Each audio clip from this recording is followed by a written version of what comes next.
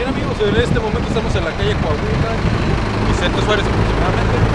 Eh, nos damos cuenta que hubo un choque con un automóvil y una motocicleta. Vamos a ver qué pasó.